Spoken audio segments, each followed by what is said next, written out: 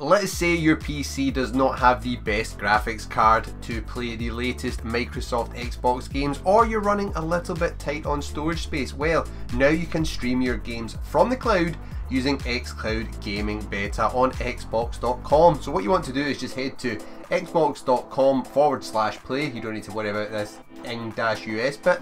And then once you're here, I'll leave the link down below in the description and the pinned comment for you all anyway, so it's simple. You need to have Xbox Game Pass, so make sure you're an Xbox Game Pass member as this is a perk of your subscription. Then once you get here, click on sign in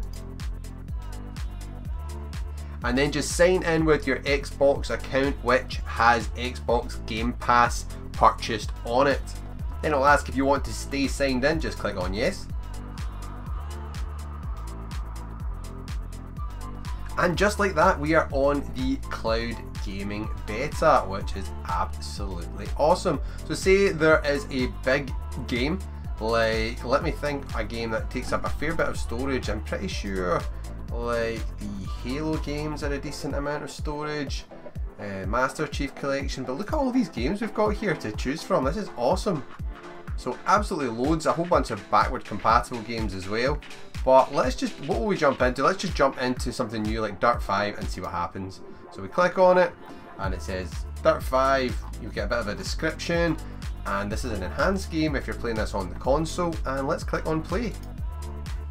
And um, we don't have a controller connected, we can change that right now. I've just plugged in my controller and pressed A on the controller and now it looks like it is setting up our stream. So let's see what happens here. This will be awesome. We've got our little spaceship here and it's taken off and boom, just like that, we're getting the Xbox sound here. Click anywhere on the screen to in playing with the controller. Okay, let's click on the screen. Here we go.